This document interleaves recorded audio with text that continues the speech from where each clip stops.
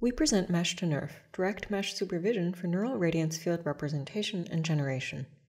How can we obtain a ground truth NeRF from a mesh? We generate radiance fields directly from textured meshes, using an occupancy function to represent the density and a reflection function to determine the view-dependent ray color, where the defined density and color can be applied to volume rendering. Our mesh to NeRF analytic solution produces accurate renderings, suggesting that our theoretical derivation can be a reliable ground truth NeRF representation from a mesh.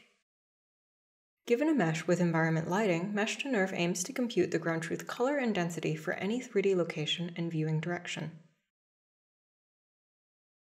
For any point, we define the density to be infinite within the mesh surface's thickness, while the density values are zero elsewhere.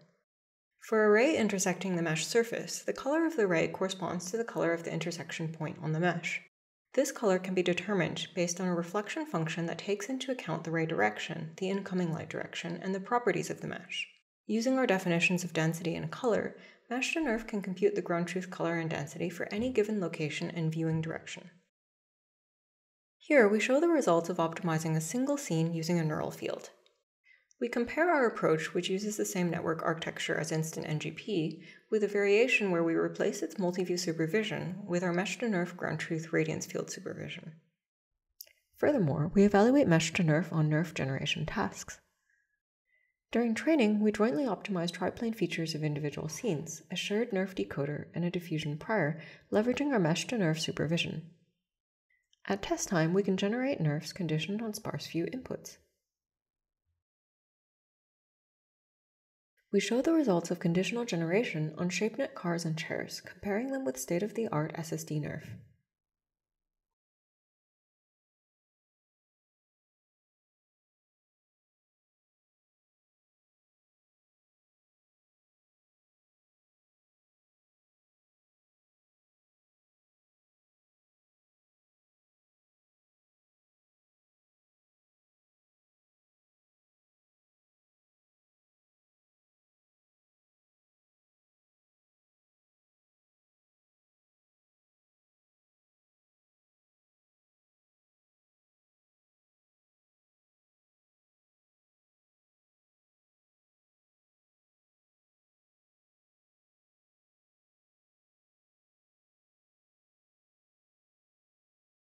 We also provide NeRF generation results conditioned on single view KITTI car images, using the model trained on ShapeNet cars.